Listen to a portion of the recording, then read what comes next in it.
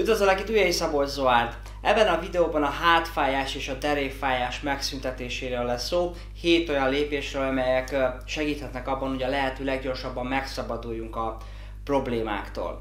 A hátfájást, a derékfájást vagy a tértfájdalmat leginkább a az izületek és a porcok rossz állapota okozza, amit eh, porckopásnak, izületi gyulladásnak, artritisnek vagy reumának is eh, nevezünk.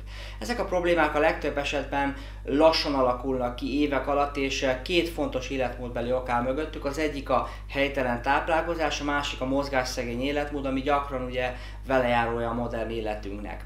Becslések szerint kb. 400 millió artritises beteg van a világon, és ezen belül a hátfájás a leggyakoribb. Egyes ízület és port problémáknak az a lényege leegyszerűsítve, hogy csökken a port szövet mennyisége és eltűnik az ízületi folyadék. Ennek az ízületi folyadéknak fontos szerepe van a, az ízületek lengéscsillapító hatásában, és ha lecsökken a szintje, az nehézségeket és fájdalmakat okoz az adott részen. A másik okozója a hát, térd és más ízületi fájdalmaknak a reuma, amely mögött a gyulladások állnak. Ilyenkor a legnagyobb valószínűséggel az történik, hogy a, az immunrendszer megtámadja az ízületeket bontó porcot, tehát a reuma egy autoimmun betegség.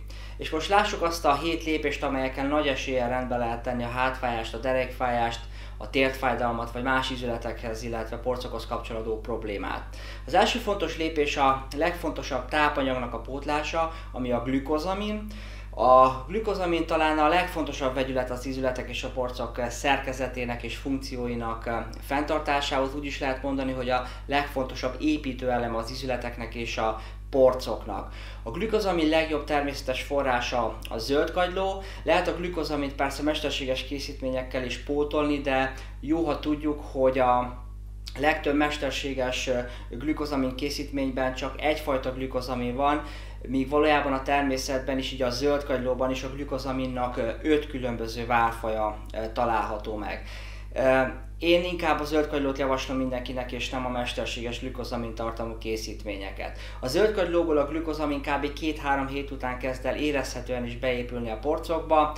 Ilyenkor már érezhető az, hogy könnyebben tudunk mozogni, kevesebb a fájdalom, érezhetően hajlékonyabbakká válunk. Tehát a zöldkagyló pótlása elengedhetetlen lépés, mert ezzel tudjuk leginkább visszaépíteni az izületi folyadékot. Második lépés a gyulladás csökkentést. Ugye a legtöbb üzleti és sport probléma gyulladással jár, ha fáj, akkor biztos, hogy be van gyulladva, tehát nagyon sokat javíthatsz az állapoton, ha gyulladás csökkentő anyagokat is viszel be. A mesterséges gyulladás csökkentőkkel, például ugye szteroidokkal szemben, melyek hatása csak rövid idejű, célszerű a természeteseket választani.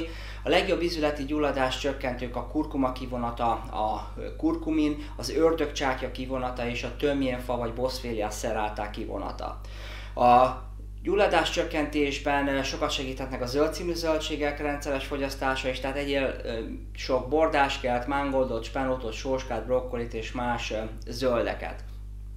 A harmadik lépés a mozgás. Nagyon fontos, hogy elegendőt és rendszeresen mozogjunk, mert a mozgással tudjuk jó kondícióban tartani az izületeket és a porcokat.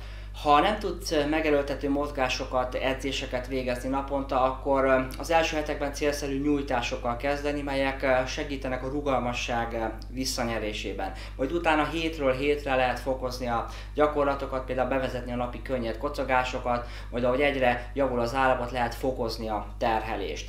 A negyedik javaslatom a kollagén, melynek legjobb forrása lassú lángon 12-14 órán át főzött húsleveslé, ami nem csak az ízületeket támogatja, de javítani tud a gyomor és a belek állapotán is. Az idő előről haladtával csökken a kollagén szintje a testünkben, ami merevséget és dúzat ízületeket eredményez. A kollagénnek lényegében olyan szerepe van az ízületeknél, mint az ajtó zsanérjánál a zsírnak vagy az olajnak, azaz ha nem olajos, akkor nyikorog, nyekereg. Szóval negyedik lépésben a kollagén tudatos pótlására kell odafigyelni. Az ötödik a gyomor és a bérrendszer rendbetétele, összefüggésbe hozhatók a port és ízületi problémákkal, az izommerevséggel vagy a csont problémákkal is.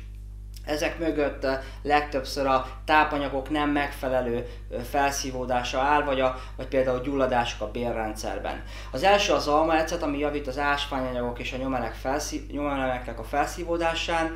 A második a magas enzimtartalmú gyümölcsök, mint például az ananász vagy a papaja, és a harmadiknak a magas rostartalmú ételeket fontos még megemelni a táplálkozásunkban. Tehát almacetből, enzimekből és növényi rostokból célszerű többet fogyasztani rendszeresen.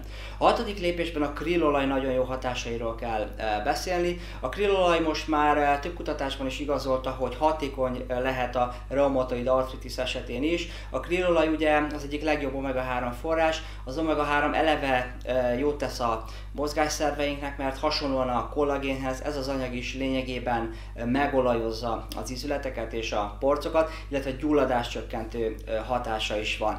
Viszont a halolajhoz képest a krillolajban van asztaxantin is, ettől piros a színe és nem sárga, mely vegyületnek erős antioxidáns tulajdonságai vannak, és képes csökkenteni az ízületeknél keletkező károsító szabadgyökök számát. A hetedik és egyben utolsó hatóanyag, amit a terápia részévé tudsz még tenni, a hátfájás, derékfájás, artritis, reuma és más hasonló problémák esetén, az a hialuronsav.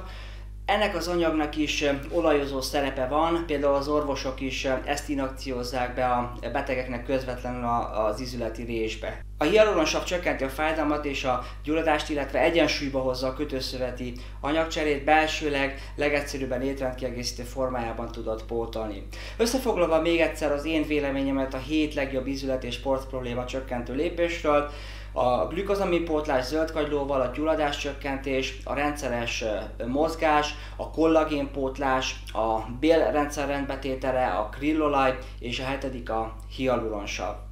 Remélem érdekesnek és hasznosnak találtad a videót, és tudtam neked hasznos infókat átadni. A leírásban megtalálod a videóhoz kapcsolódó kutatások eh, forrásait. Ha vannak személyes kérdéseid, írd meg eh, nekem e-mailben, ha pedig eh, szeretnél értesülni a következő hasonló videókról, ne felejts el feliratkozni, ha még nem tetted meg. Találkozunk a következő videóban, addig is az egészség legyen veled!